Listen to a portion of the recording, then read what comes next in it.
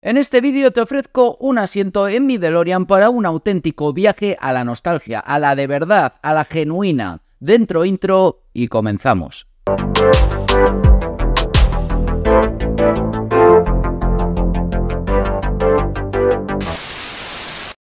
Como recordaréis, hace unos días os traje vídeos sobre la ruta que hicimos por Bilbao visitando Mundo Pixel con su gran oferta de juegos de PC y de otros muchos sistemas, pero también fuimos a Newcom, otra tienda más pequeñita pero con mucho encanto de barrio y una oferta en juegos retro muy muy interesante. Dejando el sábado atrás, pusimos rumbo a mi tierra y a mi ciudad el domingo con los compañeros de la sala de máquinas, a los cuales agradezco de nuevo infinito su hospitalidad en la ciudad del Nervión el día anterior y el gran Play Star o lo que es lo mismo, Mario y su portentosa voz salmantina. Ninguno de ellos imaginaba lo que les esperaba aquella tarde de domingo en una ciudad pequeña como Logroño, porque seamos sinceros, poco hay de retro salvo esta notoria y única excepción. Antes de ir a Pixel and Games, que así se llama este viaje a la auténtica nostalgia, tuvimos tiempo de llenar y regar el estómago en la calle Laurel, un sitio que a los que seáis de fuera y os guste el turismo gastronómico es de obligada visita. En ella cada bar tiene una especialidad y en absoluto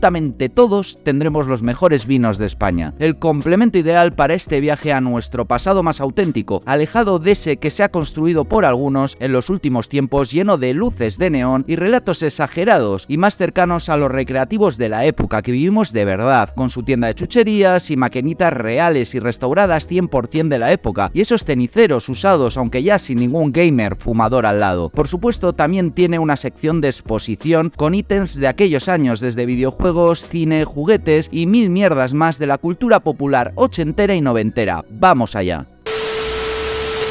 Pixel and Games se encuentra cerca del centro de Logroño, se puede ir andando tranquilamente desde la anteriormente mencionada calle Laurel, por ejemplo. Lo primero que llama la atención cuando llegas es que no vamos a encontrar letreros llamativos en la entrada, aunque al ver los típicos cochecitos y caballitos de este tipo de sitios en los 80 y los 90 nos da una idea de la autenticidad del viaje que estamos a punto de comenzar. Por cierto, el Dani de 6 años se montaba en esos mismos cochecitos, no uno parecido, era ese en concreto, una locura. Antes de seguir con este viaje a la nostalgia, recordarte que puedes ayudar y colaborar con el canal haciéndote miembro. Esto te dará acceso exclusivo al mayor foro de coleccionismo de España de juegos de PC, es decir, mi grupo de Telegram. ¿Cómo se hace uno miembro? Pues es muy fácil, en los botoncitos de abajo del vídeo donde está el like, el suscribirse, hay un botón que pone unirse. Le das y por 1,99 al mes sin permanencia te daré acceso a este grupo de Telegram. Si no estás interesado, de igual forma puedes ayudar suscribiéndote al canal, dejando un gran like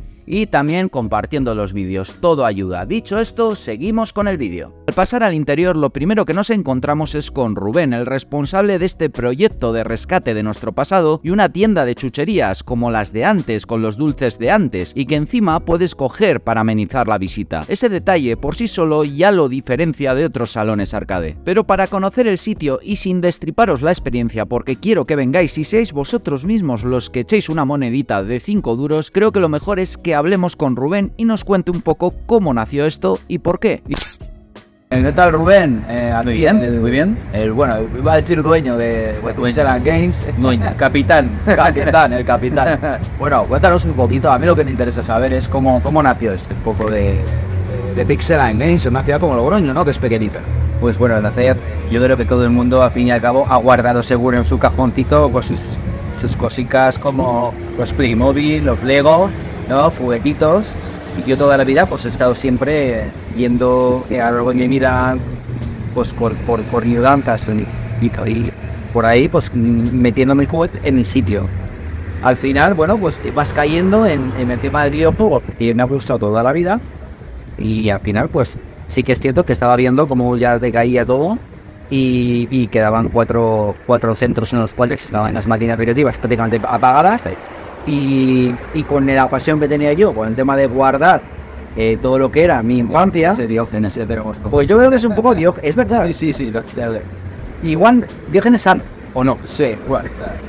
Y, y, bueno, al final pues eh, decidí un poquito ir llamando a puerta fría a los, a los jefes de recreativos inicialmente que quedaban, que quedaban aquí en Logroño a ver cuál es el material que disponían para ir en el con ¿no? Guardándolo hasta que le daba yo forma de qué manera podría proyectar todo lo que sea ese Logroño de los 80 y de los 90 a la gente que pudiera, que pudiera querer eh, venir aquí. Y tanto que hemos ido y nos hemos enamorado también del concepto con el que Rubén concibió esto. Entre las muchas maquinitas que nos podemos encontrar, tenemos la de Sega Rally, donde David de la sala de máquinas estaba muy muy concentrado. También la de Crazy Taxi, Time Crisis, The House of Death, otros más clásicos como los míticos muebles de Street Fighter 2, Golden Axe, Final Fight o Cadillac and Dinosaurs, donde Mario y la jefa estaban también muy concentrados. Las 100 pesetas de la paga semanal hay que exprimirla al máximo. Las, las máquinas ibas tú, las eh, restaurabas tú. Al final, al final yo, creo, yo creo que en este punto eh, es un poco el tema de, ya que sí que tenía, yo tenía eh, pues, consumiendo de la galería electricidad básica, pero no de electrónica. Al final, la necesidad te hace aprender. Si, bueno, la gente alrededor mío, pues, estoy bueno, no camino que yo, intentando un poquito aprender por lo mismo y teniendo las máquinas y, y tenemos cariño y, visto todo lo que hemos visto dentro, que seguramente mientras estamos hablando veremos imágenes, eh, ¿cuál es el próximo objetivo que te has marcado en el sentido de, esta experiencia de, nostalgia, como hemos hablado, buena, ¿no? Eh, una nostalgia no basada en, lo, en el tópico, sino en de verdad la divulgación, ¿no? Es, es, que más que igual, ese próximo objetivo, yo creo que más marcarlo como un objetivo claro, yo creo que es que realmente, como habíamos hablado ya una vez, es que al videojuego se le se, tome en serio que le tengan eh, esa estima de cultura que, yo creo que al final todo el mundo que está como yo en otras batallas, en otras causas, en cualquier cosa que sea la divulgación en lo que es el videojuego, sea lo que sea, pues queremos que se tenga pues ese, ese valor, ese cariño y ya que yo lo hago semana tras semana por la gente que viene, para que mostremos de alguna manera pues, el videojuego de, de, calle, que era el videojuego profesional de cualquier salón recreativo de toda la vida, también podamos eh, con esas visitas que vean ellos también lo que es el videojuego, que aparte de jugar, tenían mucho trabajo detrás.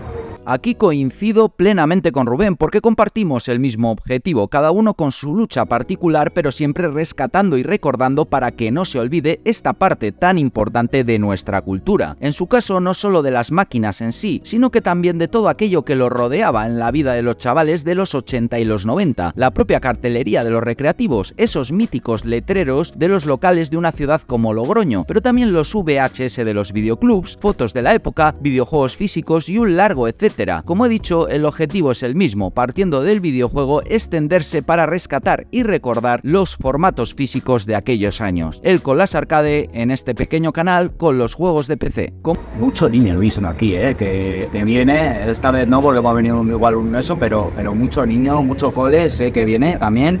Eh, bueno, ese ejercicio de divulgación está ahí, lo estáis consiguiendo, vamos, yo creo que poco a poco lo vais consiguiendo. Al final, eh, el trabajo, eh, tienes que trabajar, tienes que trabajar, tienes que no venirte abajo con estas cosas, porque al final sí que es cierto que parece como que todo lo que cuesta, cuesta mucho, a uno le harta y es una cosa que tienes que dedicarle el tiempo, cariño y, fuerza para que, para que a lo largo del tiempo podamos tener esa retribución eh, humana, ¿no? Que dices tú, esas visitas al final es es con el tiempo, digamos, ya, ya Rubén, por último, para que, eh, un poco preguntarte, ahora que está todo esto, eh, lo retro de moda, ¿te has encontrado con gente que te pide mucha pasta por ciertas cosas? Eh, que antes no pasaba, que antes lo tiraban por ahí, ahora sí que piden como si fuese, yo creo, no hemos Este yo creo que en la especulación en ese tipo de cosas va a estar. Eso es como, como el, mercado negro de los cuadros del museo, ¿no? Pero sí que es cierto que en la experiencia que cualquiera que lo escuche y se va a reír, hace cualquier cosa que van a tirar a la basura, van a tirar a la basura, tú le preguntas, eh, oye, mira, que esto, esto me interesa, y te preguntan, bueno, ¿cuánto menos fue? Y te dice, a ver, esto pasa día tras día. Y al final, pues, eh, vale lo que tú realmente estés dispuesto a pagar. Si no estás dispuesto a pagar nada, no lo pagas, cero. Y acabar en el basurero. Si estás dispuesto a pagarlo porque tú lo estás buscando, va a costar dinero. La especulación es culpa nuestra. Y realmente es culpa de todos. El que realmente las cosas en dinero. Porque ya ha habido alguien dispuesto a pagar.